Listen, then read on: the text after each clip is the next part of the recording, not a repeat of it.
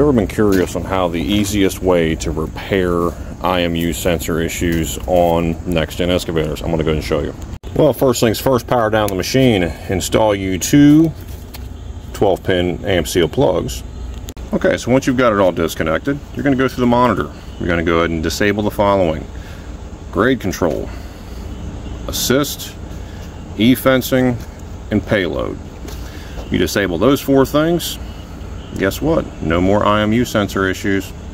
Now, the only reason I make this is to simply say that if you have a customer like the one I'm currently working with right now, who happens to like to play with the trees, and while they pretty much botch the harness every time they go through there, knocking this, that, and the third off, and they're just moving dirt, and they have no need for it. But don't do this for every customer because somebody will eventually down the line need grade control. But in all honesty, if you're really looking for a repair, I'm going to tell you about 95% of the IMU issues you're going to have on next-gen excavators are the following. It will be more than likely in this boom foot harness, regardless if it's an open service letter or not. The larger machines always seem to break at the same point, right where the, the basically the boom meets the house.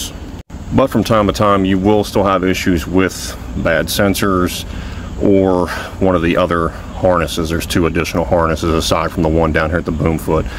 But nine times out of 10, I run into more issues with the boom foot harness. So hopefully you guys find this informative. Have a great day. And again, a lot of this is just a joke. Don't take it damn serious.